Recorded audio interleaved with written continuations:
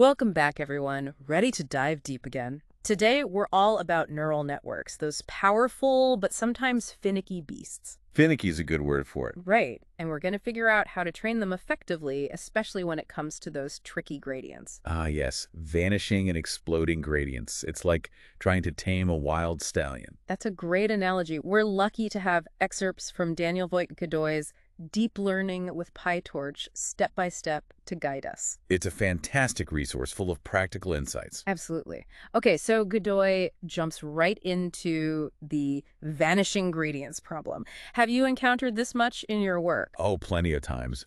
It's one of those things that can really sneak up on you. Basically, in a really deep network, and when I say deep, I mean lots of layers, those signals that help the model learn, they can get weaker, like way weaker. It's like a game of telephone. Exactly. The message gets more and more garbled as it's passed along. And in a deep network, that means the model struggles to learn effectively. It just can't make sense of those faint whispers. Right. And Godoy gives us a really helpful way to visualize this with what he calls a block model. I like this analogy. It's easy to grasp.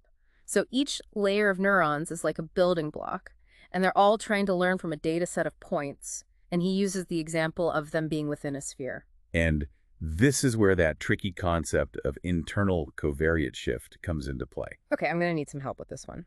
Basically, it's like each layer is speaking a slightly different dialect of the same language. So they're all speaking activation, but with different accents. You got it. And that makes it hard for the model to connect the dots, to see the relationship between the input and the final output.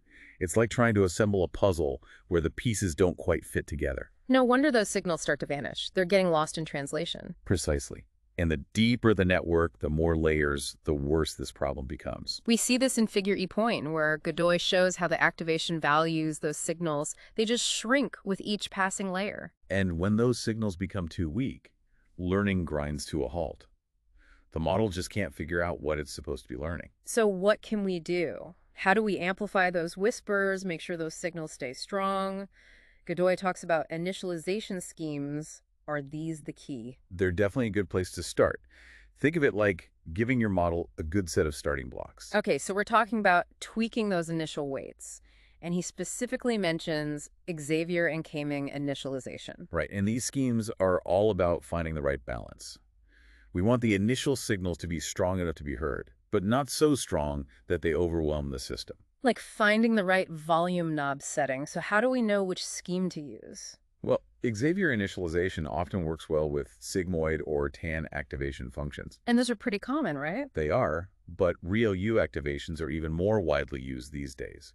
And for those, Kaiming initialization is usually the way to go. It's like having a cheat sheet for which scheme to try first. Exactly. And the nice thing is that PyTorch, the deep learning library Godoy uses, has these initialization methods built in. So we don't have to do all the math ourselves. That's a relief. Absolutely. But there's another trick up our sleeve, a more powerful tool for taming those vanishing gradients. and that is, tell me more. Batch normalization. Instead of just tweaking those initial weights, batch normalization swoops in and acts as a kind of universal translator between our layers. So it's smoothing out those different dialects we were talking about, making sure everyone's speaking the same language. You got it. So it's not just about the volume of those signals, but also about clarity. Exactly. And you can actually see this in figure E.3. Batch normalization makes the activation flow much smoother. Okay, vanishing gradients, bad. Got it.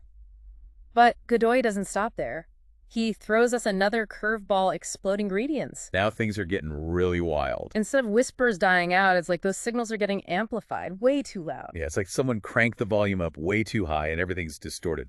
And that can really mess things up during training. Yeah, oh, absolutely. Yeah. Our model can become unstable and learning goes haywire. Godoy gives us a big red flag to watch out for. NaN values. NaN, like not a number. What does that even mean in this context? It basically means those gradients have spun out of control.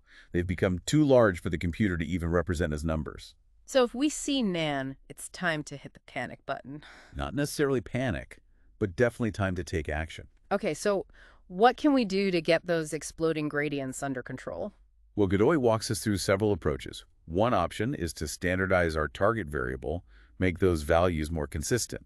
So if our target values have a huge range, like from zero to a million, we might want to scale them down. Exactly. It's like smoothing out a bumpy road makes for a less jerky ride. Another option is to lower the learning rate. Oh, right, the learning rate that controls how big of a step the model takes with each update. Right. Smaller steps, less chance of overshooting and ending up with those crazy gradients. But the technique Godoy seems most keen on, and for good reason, is gradient clipping. Gradient clipping, I like the sound of that. It's intuitive. So we're literally just setting limits on how big those gradients can get. You've got it. It's like saying, hey, gradients, you can do your thing, but you've got a speed limit. I like it. So tell me more about this gradient clipping. How does it actually work? Godoy breaks it down into two main approaches, Hmm. value clipping and norm clipping. Okay, so value clipping first. What's the idea there? It's pretty straightforward, actually. With value clipping, we set a hard limit for each individual gradient. So let's say we set a clip value of 1.0. If a gradient comes in at 2.5, boom, it gets chopped down to oh. 1.0. No more runaway gradients. And I see Godoy even gives us a handy PyTorch function for this, nn.utils.clipGradValue. Exactly. It's super easy to implement. However, as with anything, there's a potential trade-off. There's always a trade-off. What is it with value clipping? Well, value clipping can sometimes make our gradient descent, the way our model learns, a little less efficient. Less efficient? How so? It's like this.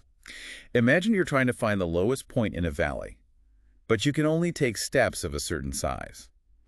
If you hit that maximum step size too often, you might end up zigzagging your way down instead of taking a more direct route. Okay, that makes sense. So we're controlling those gradients, but we might be sacrificing a bit of speed in the process. Exactly.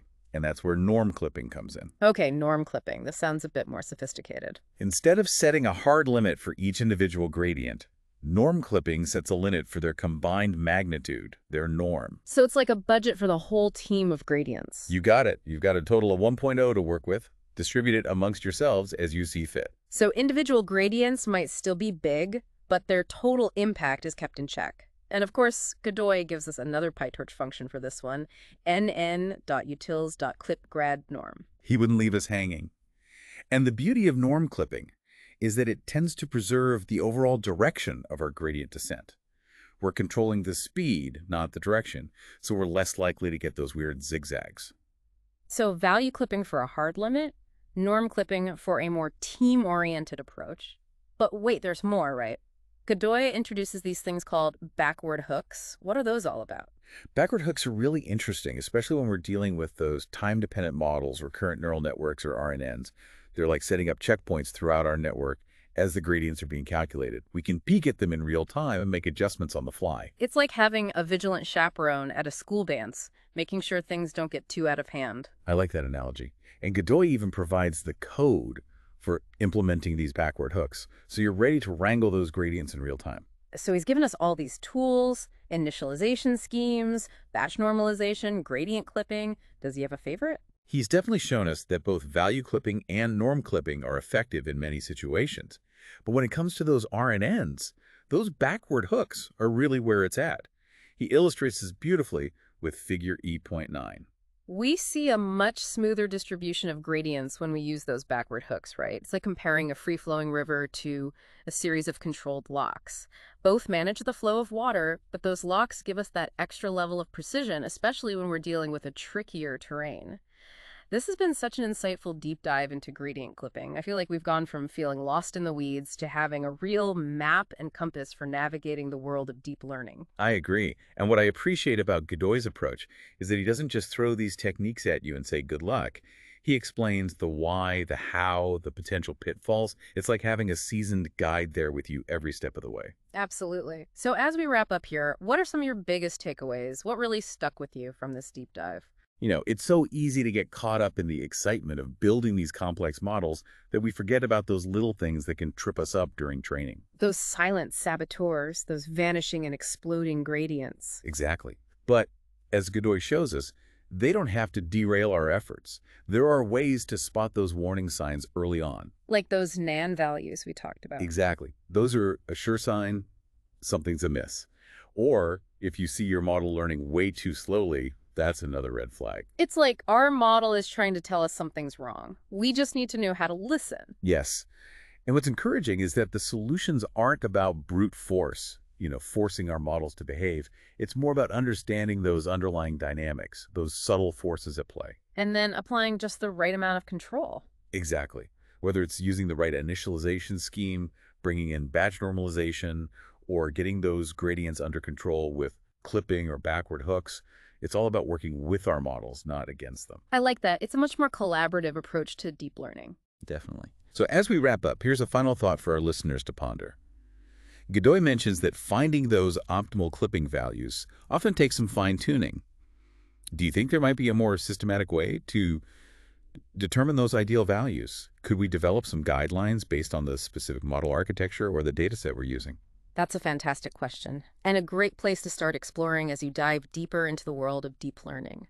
So to all our listeners out there, if you're ready to tame those wild gradients and take your deep learning skills to the next level, be sure to check out Daniel Voigt Godoy's Deep Learning with PyTorch Step by Step. It's an incredible resource that we highly recommend. And until next time, happy learning.